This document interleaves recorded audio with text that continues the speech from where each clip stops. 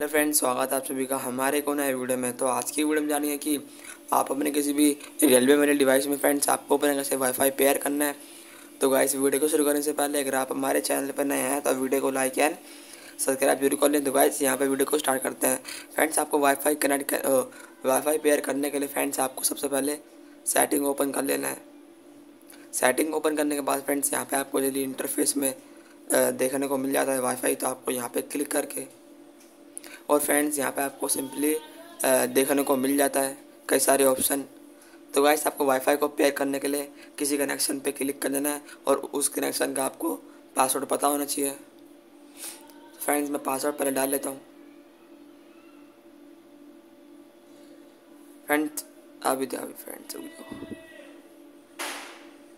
Friends मैंने यहाँ पे वाईफाई पूरा पासवर्ड मैंने डाल लिया है तो आपको टिक पे क्लिक करना है। टिक पे क्लिक करने के बाद फ्रेंड्स ये हमारा वाईफाई पेयर हो चुका है। तो मैं आशा करता हूँ कि आपको हमारी वीडियो अच्छी लगी। वीडियो को ज़रूर लाइक करें चैनल को ज़रूर सब्सक्राइब करें। मैं मिलता हूँ नेक्स्ट वीडियो में। Bye bye guys